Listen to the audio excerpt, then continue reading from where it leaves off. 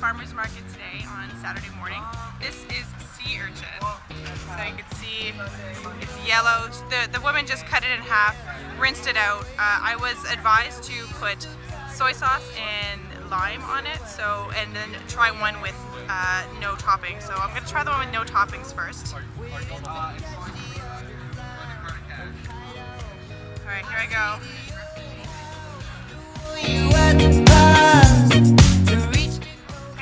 Not bad. A little fishy, a little salty. Definitely really chewy. So I'm gonna try one with um, the soy sauce and lime now.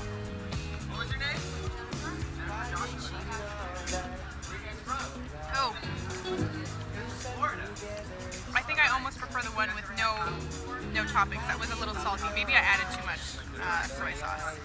But um, yeah, sea urchin at the um, San Diego Farmers, Farmers Market in Little Italy.